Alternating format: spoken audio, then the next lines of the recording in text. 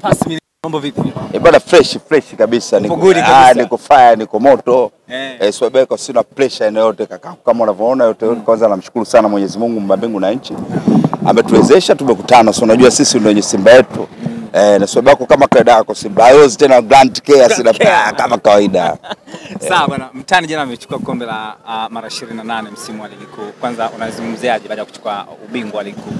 Yote kwa yote kwanza nawapongeza nawapongeza mtani kwa kuchukua kombe. Unajua wamepambana, wamejituma, nafikiri tumeona.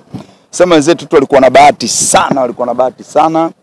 Ukiangalia hata magoli walikuwa wanapata, hata jana niliangalia mechi yao ya Coast, kwa kweli walikuwa na bahati sana. Kwa hiyo nawapongeza, nawapongeza.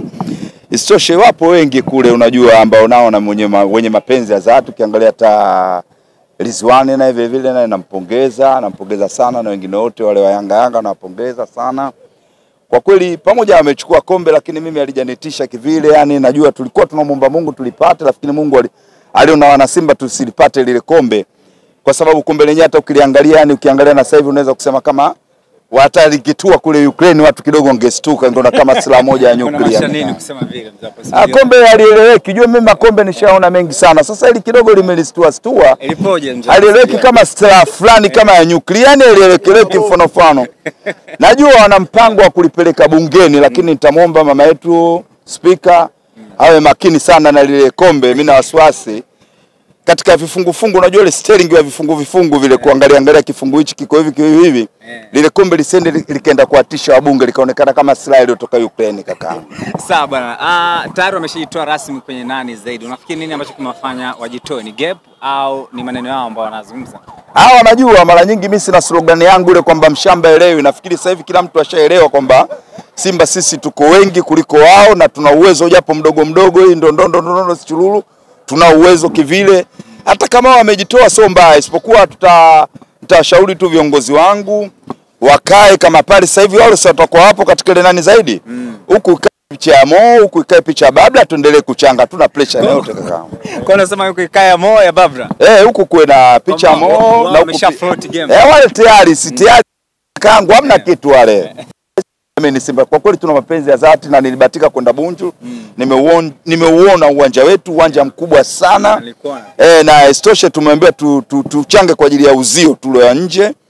Kweli tutaendelea kuchanga, tutaendelea kuchanga. Wana Simba wote nachotaka niwaambie, mimi nimeuona kwa macho yangu uwanja ule. Tuna bonge la uwanja mkubwa sana. Hata hapa Lupaso penyewe kwa jinsi nilivyopiga hesabu mimi Lupaso wametuzidi kidogo tu kama eka moja tu Lupaso wametuzidi, lakini sisi kule tumezidi, tuko vizuri kakaangu. Sawa, unazungumzaje ujio wa Moses Phil? Tayari unaona mmeshaanza kuonyesha majembe, huenda akasaidia msimu ambao unakuja. Ah, nashukuru viongozi wangu wameniletea waji na maana Messi Moses vile vile kwao, nashukuru wameniletea Moses. Moses Phil leo alikuwepo pale, kila tukikosa kwa kweli analia. Nimemwona amelia sana leo. Ah, alikuwa analia Moses alikuwa analia jisikosa kosa. alikuwa analia. Wewe mtu wewe na goli unakosa unakosa vipi kakaangu? Eh? Wewe na goli unakosaje? Kwa kweli nimewapongeza viongozi wangu japo watani wetu walikuwa wametangaza tangu majuzi kwamba watasajili mchezaji tishio nini na nini. Kumbe anakuja huyo. Ah, kumbe- Ah, yule huwezi kuwafanisha na Moses Fili. Aziki tumecheza naye hapa. Tuliwapiga goli za kutosha eh? Sawa, lakini alimdungua Manula kule kwenye Ah, ile ni kitu cha kawaida. Manula sio kwamba peke yake ile kwamba hatofungwa. Manula atafungwa, lakini unaangalia mm. anafungwa kwa staili gani, amefungwa kivipi. Wao tumecheza nao mm. sisi nao, nani aliofika hatua ile ya robo finali, na umeona sisi na Orlando tumetolewa, wao si wametoka mapema wale, na Papa hapa Lupaso tuliwaonyesha vile, hammesahau eh, msijitoe ufahamu, sisi ndo Simba blaza. Kwa hiyo viongozi wangu mimi kila wanachokifanya tunakielewa, sio wana Simba ni kitu gani wanachokifanya. Hatuna pressure na yote, tunajiamini kakangu, tuko vizuri. Sawa, unaonaje Simba msimu kadhaa ambao inakuja hapo mbele? hatari ile mipasi naona inaweza kuelekea kwenye trilioni, inawezekana kwenye milioni kuikapita. kwa jinsi ninavyoona, jinsi viongozi wetu jinsi wanavyo. Nilibatika kuteta kidogo na Babla, lakini hakuniambia mengi niongee. Nikiongea watakuwa talented walete timu uwanjani kakaangu. Tunataka tufanye usajili mmoja wa hatari sana kakaangu. Ah, Shukrani sana. E, pamoja pamoja, nachowaambia tu wana Simba wasiwe na pressure na yote.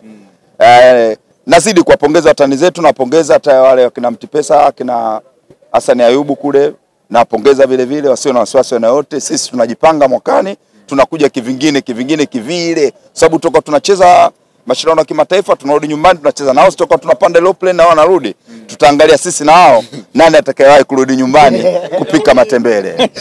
Pamoja